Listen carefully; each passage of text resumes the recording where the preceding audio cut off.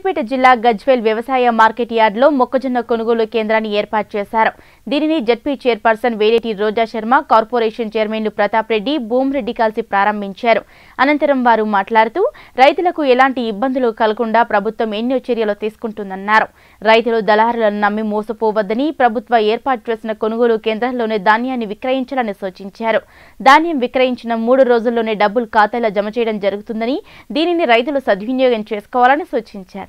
ఈరోజు మన ప్రభుత్వం మన తెలంగాణ ప్రభుత్వం రైతు ప్రభుత్వంగా అన్ని వర్గాల వారు ఏ విధంగానైతే ఉపయోగ అభివృద్ధి చెందాలనే ఉద్దేశంతో మన రైతు రైతులు కూడా మన ముఖ్యమంత్రి గారు రైతు బిడ్డ కనుక రైతులు యొక్క కష్ట సుఖాలు తెలిసిన వారు కనుక రైతులకు రైతు బంధు కానీ రైతు బీమా కానీ ఏర్పాటు చేశారు.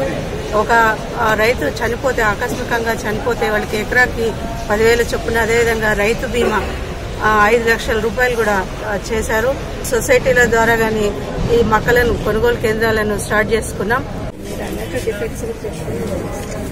మక్కల్ని కొనుగోలు కేంద్రం ఏర్పాటు చేయడం గజ్వెల్ నియోజకవర్గంలో మక్కలు పండించేటువంటి రైతులకి ప్రభుత్వం ఒక మంచి సదావకాశం ఇచ్చింది. చరిత్రలో మిగిలిపోయిండు. ఇలా రైతులందరూ కూడా ఈ రాష్ట్రంలో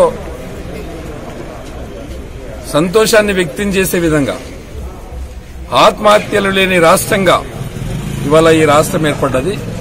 వ్యత్యాసం ఎక్కువగా లేకుండా కాపాడడానికి ఈ ఒక ప్రక్రియ.